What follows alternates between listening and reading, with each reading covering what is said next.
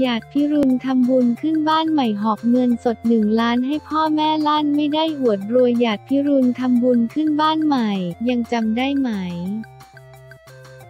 หยาดพิรุณปู่หลุน คนดังผู้ cover เพลง ว่างแล้วช่วยโทรกลับจนเป็นที่รู้จักกันในวงการนับว่าเป็นสาว strong ที่สร้างเนื้อสร้างตัวขยันเก็บเงินจนมีบ้านหลังแรกให้กับครอบครัวตามความใฝ่ฝันและตั้งใจ เพื่อนพ้องและแฟนๆ ต่างแสดงความยินดีด้วยความภูมิใจ โดยวันที่ 11 กรกฎาคมหยาดพิรุณถือฤกษ์ดีทำบุญขึ้นบ้านใหม่พร้อมหน้าพร้อมตาครอบครัว โพสต์รูปภาพอบอุ่นเขียนแคปชั่นเป็นความทรงจำว่า ขึ้นทำบุญขึ้นบ้านใหม่และเซอร์ไพรส์ให้เงินพ่อแม่หนึ่งล้าน เป็นวันที่เหนื่อยมากๆ แต่ก็มีความสุขมากเช่นกันอยากจัดงานแบบเล็กๆ เพราะไม่อยากรบกวนคนเยอะเชิญแค่พ่อแม่ตายายและป้ามาของโบให้มาเจอกันครั้งแรกดีใจมากกบกอที่ทุกคนเข้ากันได้ดีคุยกันไม่หยุดทั้งวัน มีแต่คนคุยแทบจะไม่มีคนฟัง 5,555 ตอนแรกแม่จะขนต้นกล้วยต้นอ้อยที่นอนหมอนมุ้งและเอาคนทำพิธีมาจากต่างจังหวัดด้วย อยากบอกแม่ใจเย็นใจเย็นนะกรุงเทพเขาก็มีคนรับจัดงานไม่ต้องขนมาโอ้เยอะยะฉันปวดหัวมากนะ 55,555 ส่วนเงินหนึ่งล้านคือตั้งใจไว้นานแล้ว เพราะเราไม่ค่อยได้เจอกันไม่มีเวลาได้ดูแลเขาและอยากใช้โอกาสนี้ให้เงินพ่อแม่ เพื่อเป็นสิริมงคลในวันเริ่มต้นอะไรใหม่ ๆ ไม่ได้อยากอวดรวยนะคะ 5,555 ตอนเด็กๆ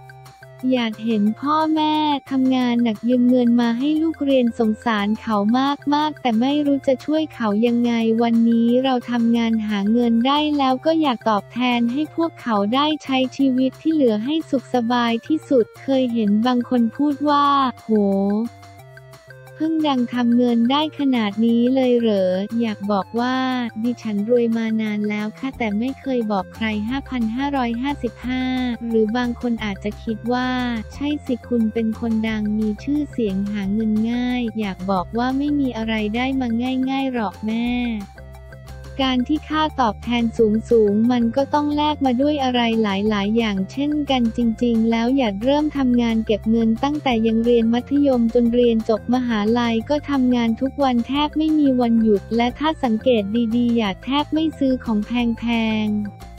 เลยไม่มีกระเป๋าหรือเสื้อผ้าแบรนด์เนมหรูๆเหมือนเพื่อนไม่ใช่ว่าไม่ชอบนะคะ แต่คิดว่ามันยังไม่ถึงเวลาที่จะต้องมี ปีนี้ตั้งใจจะทำบ้านให้เสร็จและให้เงินก้อนนี้กับพ่อแม่ก่อน และวันนี้หยาดก็ทำสำเร็จแล้วค่ะ ขอบคุณพี่ชาพี่เป้ยที่เป็นธุระกดเงินสดมาให้ยายชาถามว่าทำไมไม่เขียนเช็คให้พ่อแม่ ฉันตอบว่าไป มันไม่แกรนไม่ได้ฟิลมันต้องได้จับเงินสดสดเท่านั้น 5,555 ขอบคุณป้าโฟโมสแม่เบเบ้ที่มาแต่งหน้าทำผมให้ ขอบคุณน้องมาร์ทที่มาถ่ายคลิปให้รอติดตามคลิปขึ้นบ้านใหม่กันด้วยนะคะ ขอบคุณทีมออแกไนเซอร์ที่เนรมิตทุกอย่างให้งานวันนี้สวยงามและราบรื่นมากๆ ขอบคุณทุกคนที่รักและเอ็นดู ขอบคุณที่คอยสนับสนุนและเป็นกำลังใจให้หยาด หยาดก็ขอเป็นกำลังใจให้ทุกคนที่มีความฝันเหมือนกัน สู้ๆนะคะ ความสำเร็จอยู่ไม่ไกลขอให้ฝันให้ไกลแล้วไปให้ถึงขอบคุณ IG หยาดพิรุณขีดล่างปู่หลุน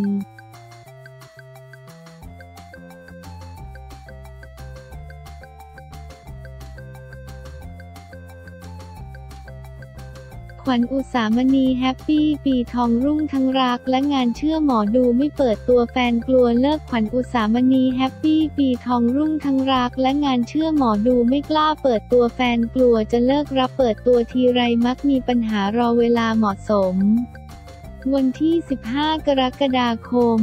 65 นางเอกสาวขวัญอุสามณีไวยทยานนท์จัดงาน UZI Cosmetic 5TH Anniversary ที่โรงแรม Renaissance Bangkok Hotel หลังจบงานนางเอกสาวเปิดใจถึงเรื่องแผนธุรกิจและเรื่องความรักครั้งใหม่ที่ไม่กล้าเปิดตัว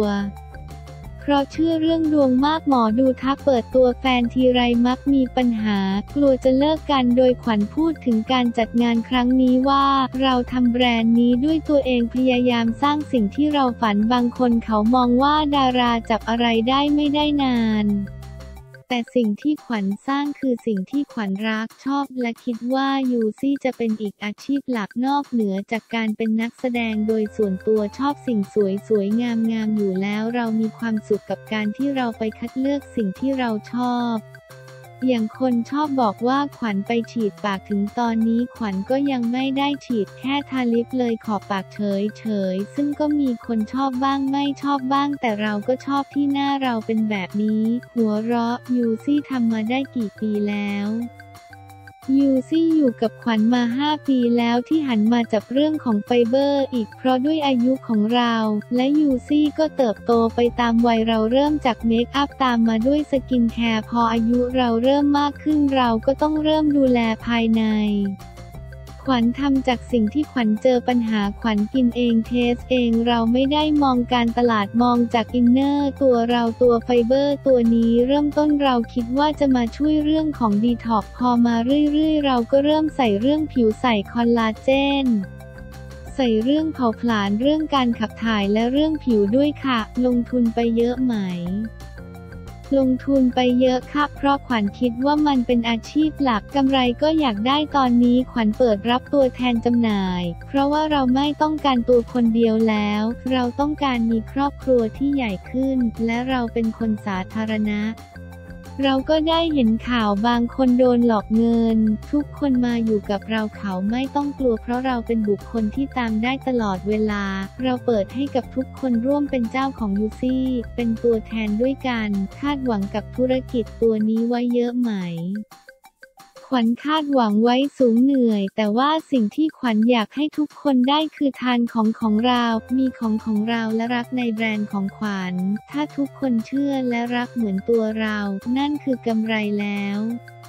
เพราะเรื่องรายได้ขวัญมีจากการเล่นละครอยู่แล้ว แต่อันนี้มันคืออีกอาชีพหนึ่ง มันเป็นการแบ่งปันและเติบโตไปด้วยกัน ขวัญอยากมองมาข้างหลังแล้วเห็นว่าเราได้สร้างคน สร้างอาชีพได้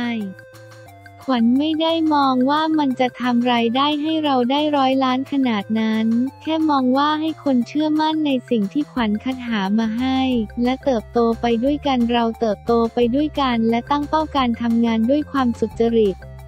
โดยบรรทัดฐานที่เราไม่หลอกลวงกัน คุณแม่ว่าอย่างไรบ้าง คุณแม่ให้คำปรึกษาในเรื่องของการชิมการเทสว่าได้รับผลดีหรือไม่ดี ในเรื่องที่บอกให้เราระวังตัวว่าเราเอามาเทสหรือยัง คนรอบข้างของเราทุกคนขวัญให้เทสหมดรวมถึงหวานใจเราด้วยว่าแต่วันนี้เขามาร่วมแสดงความยินดีด้วยไหม วันนี้เขาไม่ได้อยู่ในงานแค่แต่เขาอยู่ในใจขวัญ เขาได้ให้คำปรึกษาอะไรบ้าง หลายอย่างค่ะคนนี้เขาเป็นกำลังใจและเป็นที่พึ่งให้เรา เขาอยู่ในวงการธุรกิจเขาไปคนดีไม่ได้หวังผลประโยชน์อะไรจากขวัญ มีข่าวลือว่าเป็นเจ้าของโรงแรมเรเนซงเพราะขวัญเลือกจัดงานที่นี่ตลอดทุกครั้งที่เป็นงานของขวัญ อุ้ยที่เลือกที่นี่เพราะเรื่องของการเดินทางสะดวกค่ะ คือถ้าเกิดพี่อยากให้หนูพูดต้องไปถามคนโน้นค่ะ เรียกหมอดูคู่ไกลเข้าวงสัมภาษณ์ นี่คือพี่เทมเป็นหมอดูประจำตัวขวัญ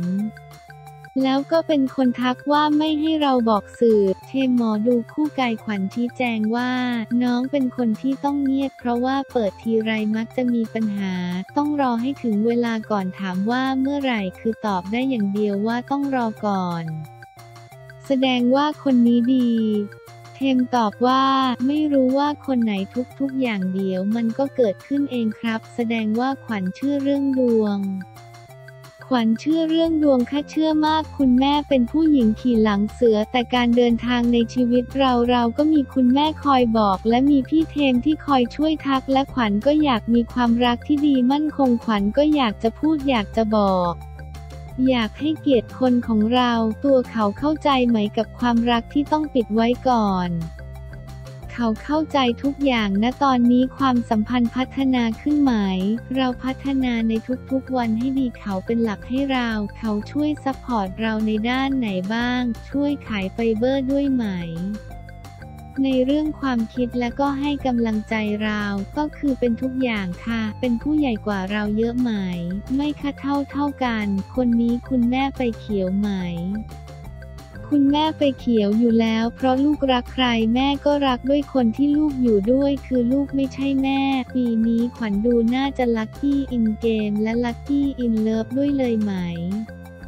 หมอดูบอกผมว่าทุกอย่างค่อนข้าง work สำหรับขวัญ ในปีนี้ถือว่าเป็นปีทองของขวัญ ไม่ว่าเรื่องงานหรือเรื่องอะไร มีลุ้น go inter ไหม go inter ไปแล้วค่ะไปเวียดนามไปไหนก็ได้ ถามว่ามีดวงมีข่าวดีเรื่องอื่นไหม หมอดูเผยว่า ถ้าตอนนี้ข่าวดีเรื่องงานคือที่สุด ถามว่ามีแววสลัดโสดไหมต้องลุยเรื่องงานก่อน มีเงินเดี๋ยวความรักมาเอง ขวัญ เรื่องงานเรื่องธุรกิจเราก็เหนื่อย เพราะเราเป็นคนหาเงินอยู่คนเดียว เราก็ต้องการสร้างครอบครัวให้มั่นคงแข็งแรง การที่เรามีคนหนึ่งหรือมีความรักที่ดีอยู่ข้างเรา ก็เหมือนยิ่งเป็นกำลังใจให้ขวัญ เป็นหลักให้ขวัญให้มั่นคงขึ้น ซึ่งในโอกาสต่อไปเราจะมีโอกาสสร้างครอบครัวกับใครอะไรต่อไป ขึ้นกับวาระโอกาสและความเหมาะสม แต่ทุกวันนี้เราก็ดีใจที่เรามีคนที่อยู่ข้างๆเราที่เขาเป็นคนดีและจริงใจกับเรา เราไม่อยากเพิ่มความสุขให้ตัวเองมากขึ้น ขวัญมีความสุขกับการที่ขวัญอยู่กับคนรอบตัว มิตรภาพที่ดีการทำงานเราอาจเจอคนร้อยแปดพันเก้าเจอคนหลอกซึ่งอาชีพขวัญเราเจอคนแบบนี้เยอะ หวังผลประโยชน์จากเราคิดว่าเราสวยหวังเงินจากเรา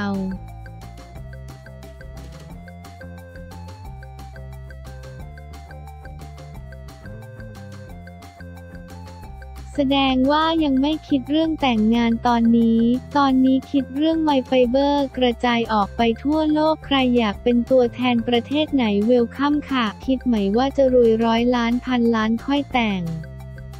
คือคุณพ่อคุณแม่ขวัญเราก็ไม่ได้มาจากครอบครัวที่มีขนาดนั้น แต่เพราะเขารักกันถึงเวลาเหมาะสมเขาก็แต่งงานกัน ขวัญเป็นครึ่งหนึ่งของคุณพ่อคุณแม่ ขวัญไม่ได้ต้องการเงินของใคร แต่ขวัญแค่ต้องการความจริงใจของคนที่รักขวัญจริง ๆ รักขวัญที่เป็นขวัญไม่ใช่รักแบบที่เราเป็นตุ๊กตาที่ไม่กล้าเปิดตัวเพราะดวง ขวัญกลัวจะเลิกค่ะไม่ได้เกี่ยวว่าปิดแล้วธุรกิจจะปัง แต่ขวัญอยากรักษาคนที่ขวัญรักไว้ให้อยู่กับขวัญนานๆ